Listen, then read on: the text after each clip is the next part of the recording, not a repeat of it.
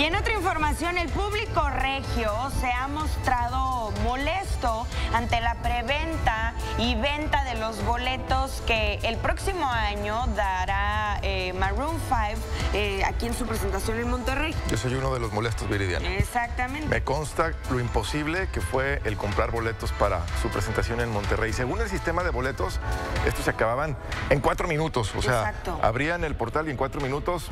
Ya no había boletos. Ah, pero entrabas a páginas en internet de reventa y bueno, ahí. Los que quisieras. Un montón, un montón. Y los ofrecen al triple, cuádruple, ¿no? Qué barbaridad, qué molestia. Exactamente. Vamos a ver todos los detalles a continuación.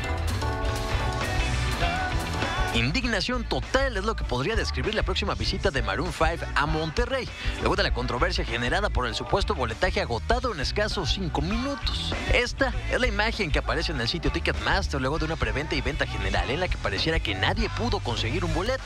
Pues de los cientos de comentarios escritos en el portal, ninguno asegura tener un acceso en sus manos. Sin embargo, el panorama cambia cuando ingresas a Google, escribes palabras claves y recibes como regalo un aparente sitio de boletos en el que sí hay accesos para todas las secciones. Desde perfiles hasta Beyond, claro, a precios que van desde los 3.700 a los 20 mil pesos por boleto.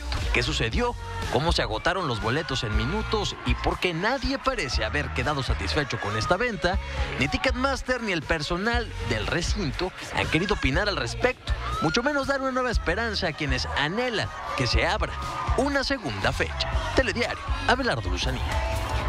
Puras mermas, puras mermas, la verdad. Ay, ni me digas. La verdad es que yo fui una de ellas que entró a la página para buscar los boletos y a los cinco minutos ya no Sí. había nada. Entonces, híjole, es un abuso encontrar estos boletos al triple o si no es que muchísimo más caros. ¿Quién consiguió boletos así, más de dos? Háganoslo saber a través de la cuenta arroba los famosos TV. Yo quiero saber de la existencia de alguien que realmente alcanzó boletos Exactamente. por la página de, del auditorio, ¿verdad? Así es.